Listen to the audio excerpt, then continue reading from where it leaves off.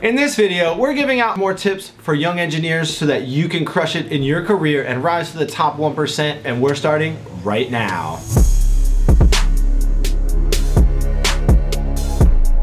Hey 1% Nation, I'm Jake Voorhees and welcome back to the 1% Engineer Show where we empower young engineers to rise to the top 1% of their career. So if this is you, make sure you subscribe and hit the bell. Check out the links below for the free 1% Engineer Kit, access to the Discord server with nearly 1,000 engineers and a link to the IG page. Comment below what type of pain points, what type of struggles are you going through, what type of engineer do you want to become, what are you trying to figure out? We can make a video just for that. This video features a 1% star named Fernando Ceballos, an awesome engineer from Texas who has plenty of leadership, management, and professional experience to share with us. He's not only a professional engineer, so he sat through two phases of the eight hour exams, first the fundamentals of engineering and then the professional engineering exam after you achieve four years of experience, but he's a career coach, a mentor. He's the president of the Society of Hispanic Professional Engineers for all of Dallas Fort Worth. He's won multiple awards, including a statewide Coors Leadership Award. He was a 2018 Millennial to Watch. He won a Young Engineer of the Year award, and several others. Fernando first studied at Texas A&M grade school, and today he's sharing his seven, eight years of experience with us, where he works for an engineering company that stands at 128 on the Engineering 500 list. That's listed by revenues. So it's a medium-sized firm with about 400 employees. So Fernando has a lot of experience, a lot of tips to help you young engineers. So listen up. Thanks again, Fernando. Let's take it over to him for question number one. As a civil engineer, you deal with a decent bit of land development, construction, management, and these types of things. So what is land development? Walk us through this process, Fernando. Hey Jake, thanks for having me on your channel. I'm excited to share some of the things that I've learned as a civil engineer these last six years in my career and uh, looking forward to answer some of the questions that you have for me. So what is land development? When I talk to kids about what land development is or what I do on a day-to-day basis, I tell them that I'll play Minecraft for a living. It's my job to take a raw piece of property and build something on it. And so the things that I need to worry about for a project to come to fruition and make our clients' dreams come to reality is to ensure that a piece of property is zoned for a specific use. Uh, we also need to make sure that that piece of property has the infrastructure needed to make that project come to fruition.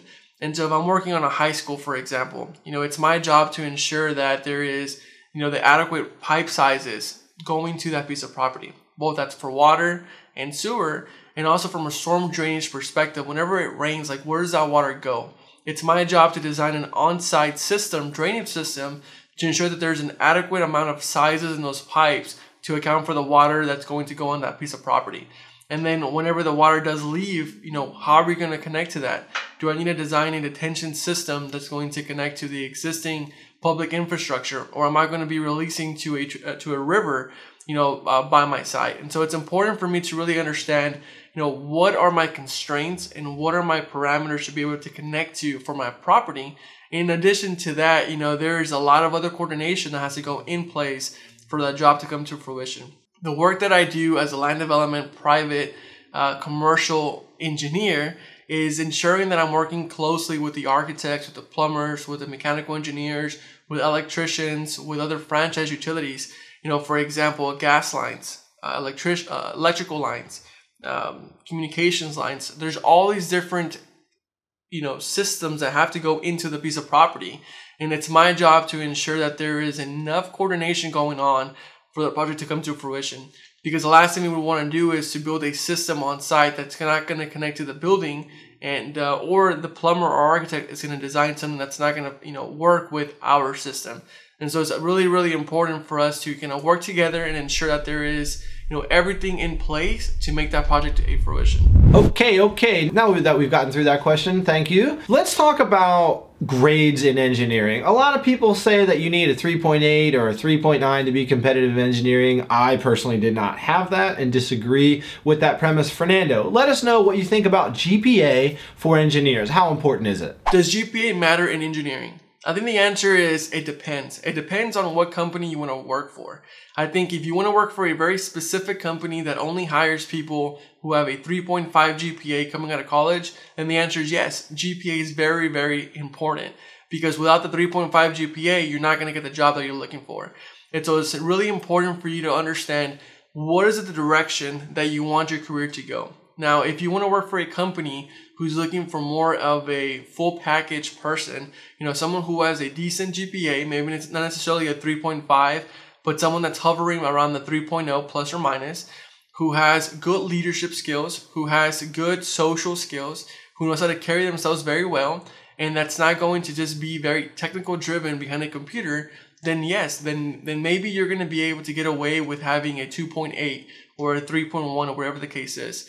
But again, it's, it's really important for you to understand where you want your career to go and whether or not the company who you want to work for hires people with lower GPAs. And so again, you know, when people ask me the question, is a GPA critical for me to be successful? I think the answer is no. But I mean, if you can, if you can do it all and get a really good GPA, then by all means, get a great GPA.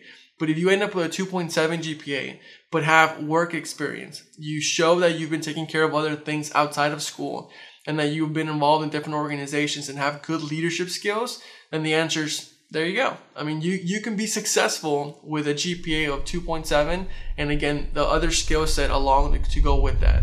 Okay, thank you for that, Fernando. Can we talk a little bit about your day in the life of being a civil engineer? What's the average day like? What do you do? What is it like with your coworkers? Things like this. What is it? What's a day in the life of a civil engineer from your perspective? So, day in the life of a civil engineer, and again, going back to land development. What do I do on a day-to-day basis? Uh, funny enough, I just I launched a, a video not too long ago on, on that specifically. But to answer the question directly here, you know, my job is a lot of coordination. My job, you know, on a day-to-day basis can, can transition from being very technical driven on ensuring that there's a design for that project, coordinating with my team or coordinating with other, uh, you know, people part of the team of the project, or going out to the field and doing construction inspections and ensuring that the things that are being built out on site are actually being built per the plans. And so again, uh, my job is, is very focused on ensuring that things are going along along uh, with plans, but also on schedule and on budget.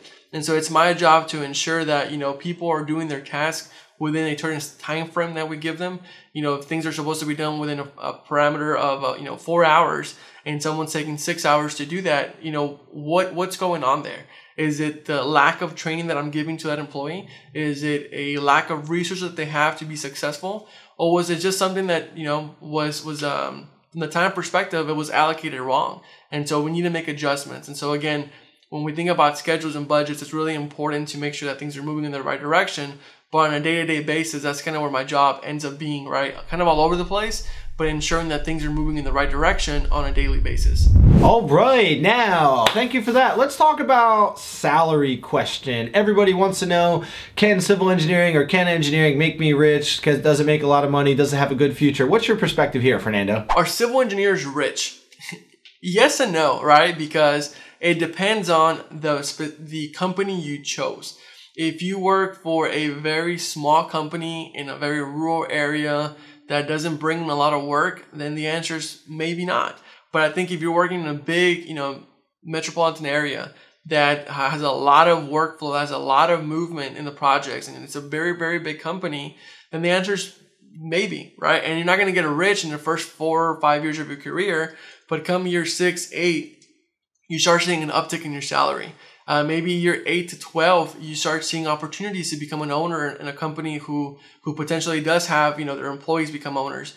Or if you're you know year 15 in and you move to a different company you know again you start seeing those opportunities where you're able to you know profit share. Not necessarily with your just your employees but with with the company itself right? And so the company starts to share some of those profits with you as an employee you know uh, being part owner and also with just the, the in moving the company forward. And so the question is, you know, are engineers rich? I think it depends on your lifestyle. You know, there's plenty of engineers that I see driving really nice cars early in their career, and uh, potentially they're going to jeopardize their ability to become, you know, uh, long-term wealthy because they're just you're just too focused on um, doing the luxury of life early on. But if you are frugal and you have a good lifestyle and you don't allow lifestyle creep to get the better of you, then the answer is yes. You can become very wealthy, and and um, you know we can maybe use the word rich later in your career if you focus on the right things. All right, thanks for that salary response. Again, thanks, Jakes, for spending time with me. Um, you know, thank you for inviting me to the channel. I'm looking forward to engaging with your audience in the comment section. And if you guys are looking for anything uh, specifically civil engineering, feel free to reach out to me on my YouTube channel and I look forward to engaging with you all in the future. Take care. Peace. Thank you so much, Fernando. Hey, 1% Nation, Jake here. I hope you enjoyed that feature between Fernando Ceballos and 1% Engineer. If you did, consider subscribing because we release plenty of videos to empower young engineers. So if this is you and you want to rise to the top 1% of your career, make sure you subscribe. Check out the links below for the 1% Engineer Kit, access to our Discord server with about a thousand engineers, along with a link to the IG page. Comment below, let us know what you're trying to figure out. Did this video help you? What do you want to learn next? We want to hear from you. Thanks again, 1% Nation, and we'll see you again in another video. Bye-bye.